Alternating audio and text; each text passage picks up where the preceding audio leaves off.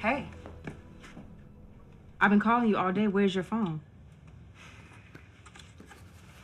My family needed me.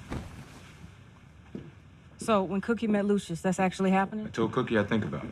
Okay, so then what's your plan, Dre? Because I know you don't expect me to just sit and watch from the audience. You can do whatever you want. It's between me and my family. You and your family? That's right. I thought I was family. Your mother disrespected me. And I thought you were strong enough to take it. Tory Ash stole a song from me, and you didn't do a damn thing about it. Giuliana comes and she dangles Vegas in your face. And what do you do? You ready to hit it. I told you. That's how I do business.